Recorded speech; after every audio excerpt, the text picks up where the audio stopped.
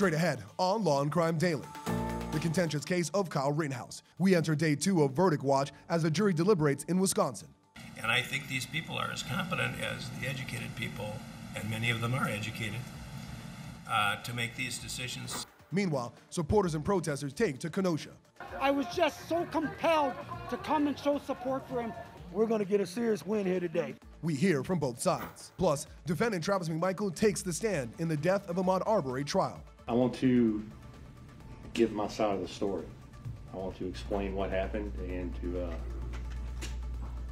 to be able to say what happened from from the way I see it. And later, the Tiger King is back. Anybody that's followed this knows that Joe's still in prison and Carol's still not in prison. Law and Crime Daily sits down with the attorney for Joe Exotic, who says his client deserves a new trial. Law and Crime Daily covering court cases from coast to coast.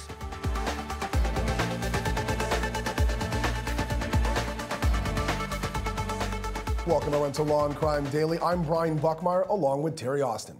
Jurors asked to see videos of the night Kyle Rittenhouse shot three men, killing two of them, as they deliberate.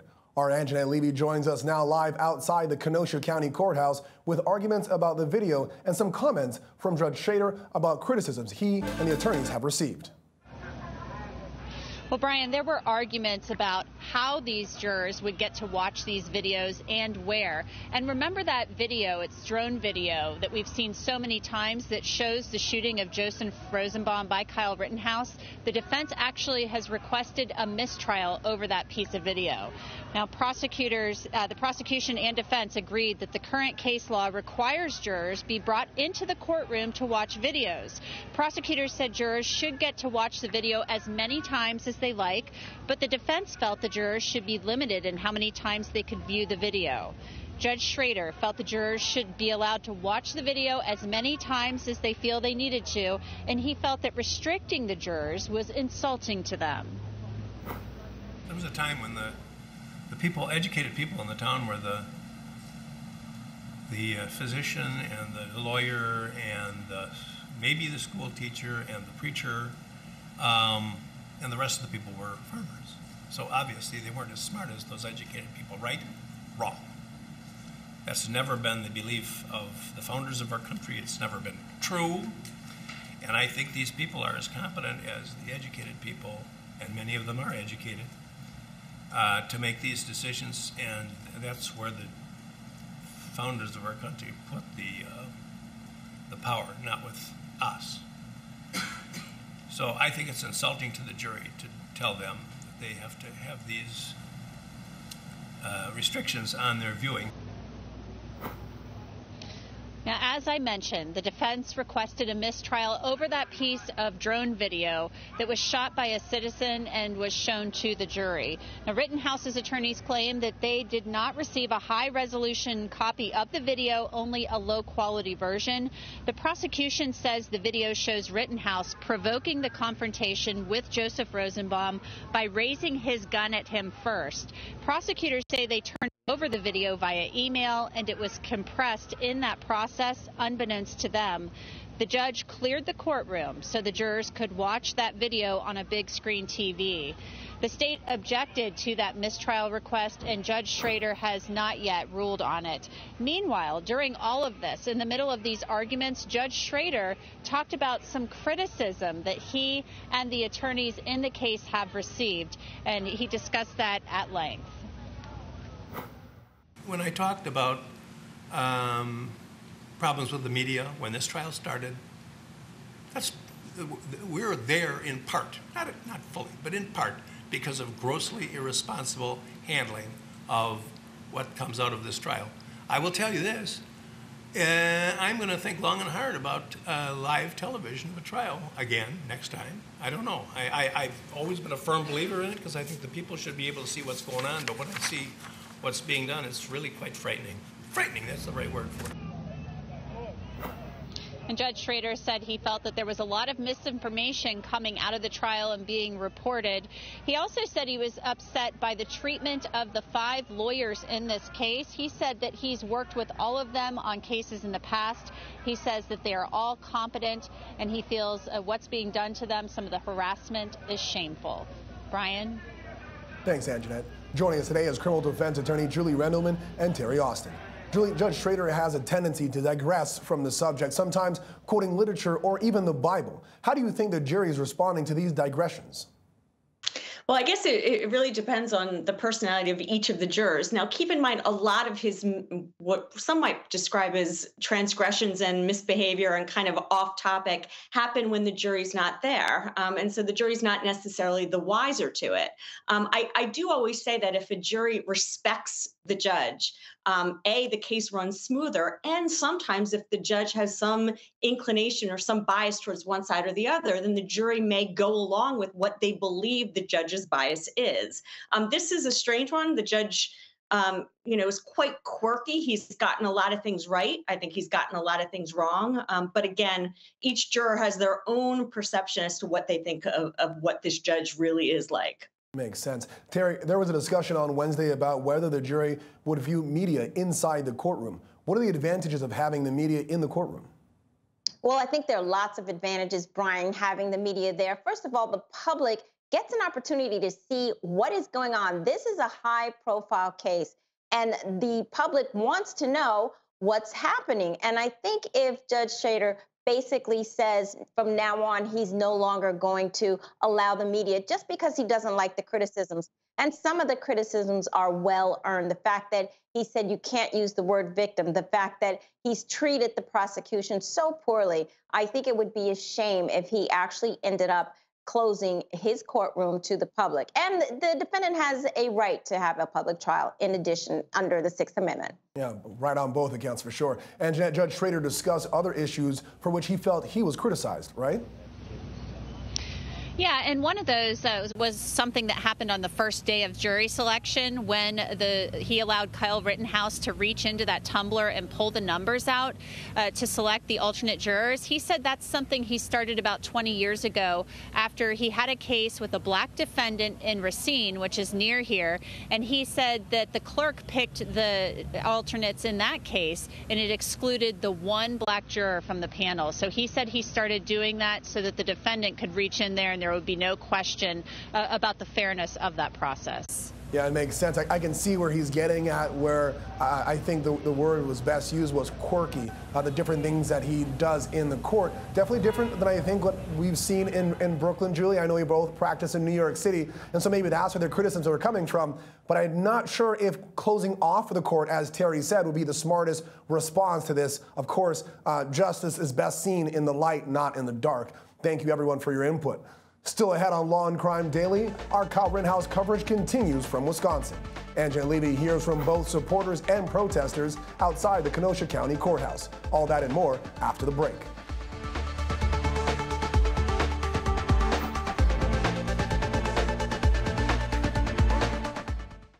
It was the video that shocked the nation. An unarmed black jogger, 25 year old Ahmaud Arbery, gunned down in broad daylight. The three men charged will now stand trial. For live gavel to gavel coverage of the trial, subscribe to Law and Crime on YouTube TV today.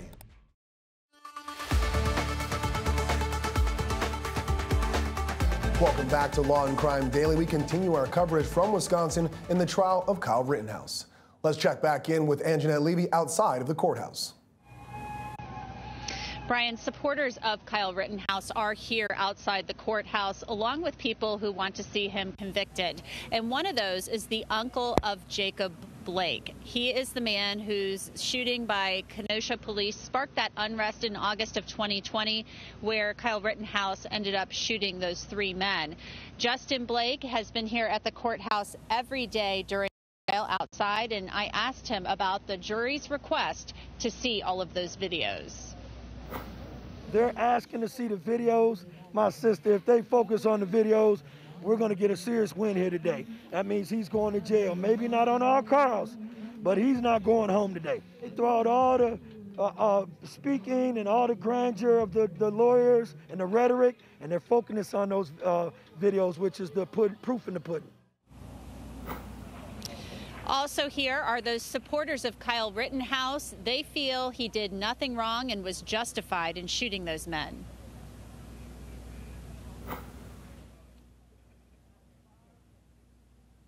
Kyle Rittenhouse is part of this community. He was running. He was walking around with cleaning off graffiti, um, helping people. He helped the guy with the uh, shoulder. He was a young, decent man. And hearing him in the courtroom, I was just so compelled to come and show support for him because I would be proud to have a child like that. And one of the Rittenhouse supporters actually showed up on day two of deliberations here at the courthouse with a megaphone and some type of long gun. The deputies approached him and told him he needed to keep that at least a thousand feet away from the courthouse. Brian? Thanks, Angenette. Now to news out of California. Kobe Bryant's widow is ordered to turn over nearly five years of therapy records amidst an ongoing lawsuit she brought against Los Angeles County. Early this week, a judge ruled Vanessa Bryant must turn over her mental health records dating back to January 2017. All this comes months after a lawsuit filed by Bryant alleging she suffers severe emotional distress and mental anguish after county workers leaked photos to the press of the helicopter crash that killed her husband and daughter. Kobe Bryant and 13 year old Gianna were among the nine people who died in the crash in January 2020. In a recent deposition, Vanessa Bryant testified that she is traumatized from the incident, has trouble sleeping, and is depressed. A judge ruled Bryant has until November 29th to produce the mental health documents. The trial is set to begin on February 22, 2022. Switching coasts now to news out of Washington, as a self-described QAnon shaman is sentenced to 41 months in prison for his role in the January 6 insurrection at the U.S. Capitol. This marks the longest sentence handed down for the offenders. 33 year old Jacob Chansley pled guilty to one count of unlawfully obstructing official proceedings in a federal court on Wednesday. Chansley acted as a key figure during the attack, where he infamously marched through the Capitol wearing a horned helmet while Congress confirmed President Joe Biden's presidential victory. The defense argued that Chansley suffers from significant mental health issues and cannot be held completely responsible for his actions. Ahead of the sentencing, Chansley was held in jail for 10 months. Coming up on Law and Crime Daily, the so-called Tiger King says he deserves a new trial after a murder for hire conviction. Plus, the death of Ahmaud Arbery. We take you inside the courtroom where defense attorney Kevin Gough makes his opening statement, and defendant Travis McMichael takes a stand. All that and more after the break.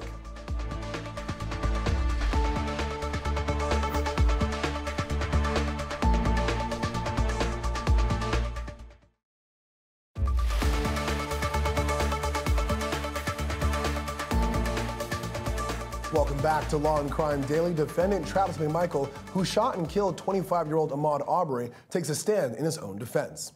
McMichael and his father, Gregory McMichael, face several charges in the death of Ahmaud Arbery, along with neighbor William Roddy Bryan. All three defendants are charged with malice murder, felony murder, and aggravated assault. In February of 2020, Gregory and Travis McMichael tailed Arbery in their pickup truck as he went for a jog. Travis McMichael eventually shot Arbery, claiming self-defense. He says he believes Arbery was breaking into homes in the neighborhood. Bryan followed along in his own pickup truck and recorded the incident on video. On Wednesday, Travis McMichael took the stand detailing past break-ins in his family's neighborhood when he says he feared for his safety. Having that experience, what I just said, that you know, with him drawing the or acting like he was drawing the weapon and then running into the house, and then seeing the video that he's walking, walking around so nonchalant in that that house, kind of it startled me a little bit that having that just happen, just catching him creeping through that front yard and obviously trying to uh, avoid detection and then doing what he did there and then going into that house and then walking around in there like it's no big deal was was alarming. Alarming why?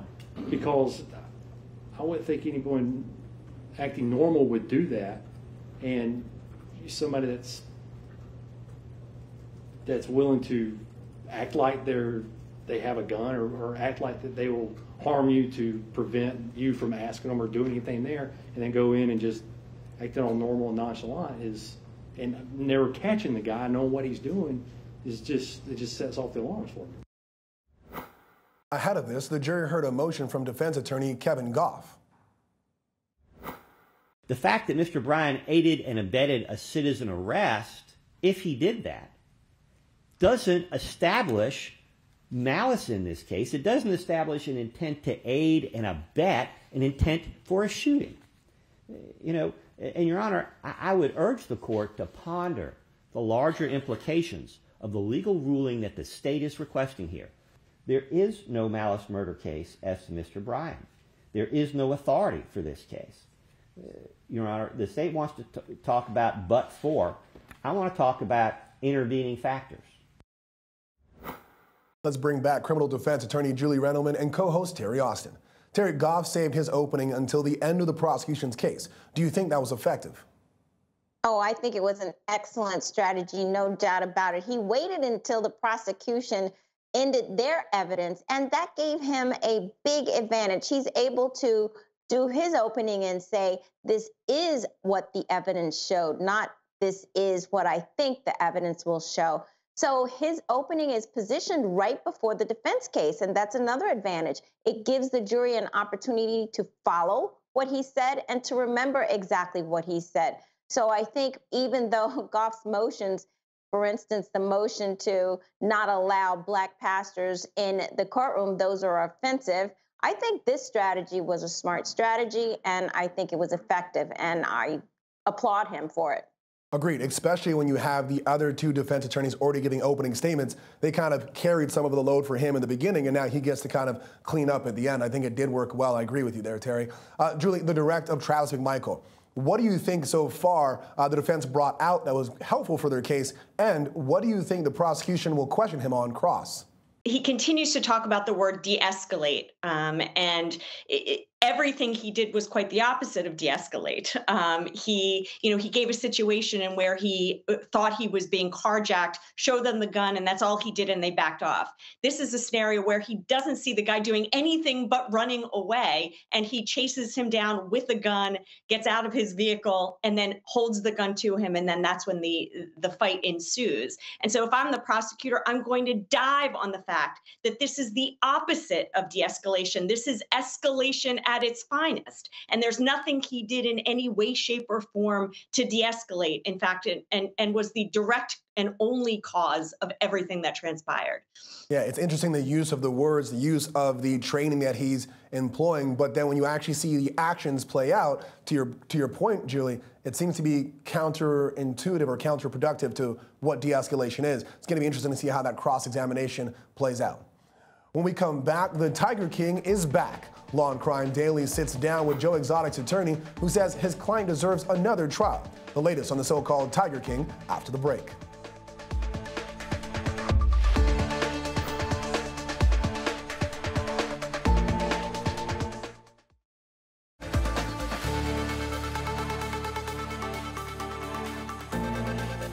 Back to Law and Crime Daily. On the heels of the Tiger King 2 premiere docu-series, frontman Joe Exotic fights to overturn a murder for hire conviction. Exotic, whose legal name is Joseph Maldonado Passage, uh, rose to fame at the height of the COVID-19 pandemic when the smash hit Tiger King was released on Netflix. The series documented Joe Exotic's passion for tigers and his feud with Carol Baskins, an animal rights activist who he claims killed her husband, Don Lewis. Lewis went missing in 1997 and was declared legally dead in 2002. In 2019, Joe Exotic was convicted on 17 counts of animal abuse relating to his care of exotic animals at the GW Zoo in Oklahoma. He was also convicted on two counts of attempted murder for hire, stemming from a plot to kill Baskin. Right now, Joe Exotic is being held in the Fort Worth Medical Center federal prison as he is treated for prostate cancer. Law and Crime Daily spoke with his attorney, who says their team is working toward an overturned conviction and a new trial based on government misconduct and new evidence in the case. On the murder for hire, people need to realize this wasn't federal agents looking back on a series of facts and saying, oh, this person spoke to this person and this person spoke to this person and they plotted a murder. No, the government was there long before this happened and hired witnesses, uh, confidential informants, to essentially get words out of Joe's mouth.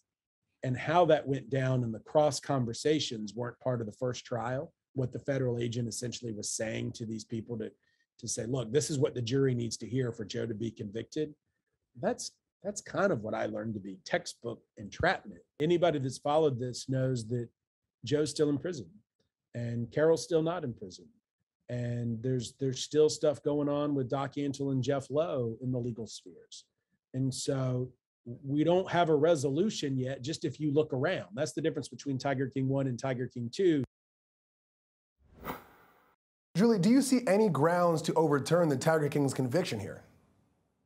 So we already saw that the appellate division had uh, found an issue with regards to sentencing, but they didn't find an issue with regards to the conviction. Um, and so they've raised several points already, and it hasn't worked. If there's new evidence um, that establishes something more than just simply saying, oh, he was entrapped, because keep in mind, we have the actual audios. We know the conversations between these individuals. And so a jury could have determined what in any what if anything rose to entrapment. The appellate division could have as well. There was no finding of that. So could something happen? Could something new come out? Of course. I just don't see it at this stage. All right, let's, let's kind of follow that track as well, Terri. Could more eyes on this case, similar to the Free Britney movement, push this case towards being re-examined and possibly overturned? I definitely think that the more eyes on the case, the better it will be for Joe Exotic. The point is, people think they have a lot of sympathy for him because he's gotten this 22 year conviction. He just said some things. It wasn't serious. No one ended up getting killed. He was entrapped. And he didn't technically abuse animals. At least that's what they're saying. So I think community response will help. All right, let's see how this plays out. Thank you for joining us here on Law and Crime Daily. We'll see you next time as we discuss justice in America.